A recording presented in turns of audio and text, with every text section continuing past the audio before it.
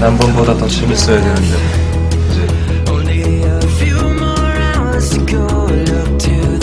배우 현빈이 아닌 그냥 현빈이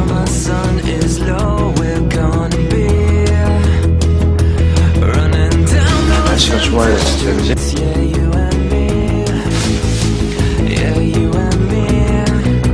짐이 너무 많아 다 나 혼자 챙겨야 되냐 이거? 어? 老婆我要出去上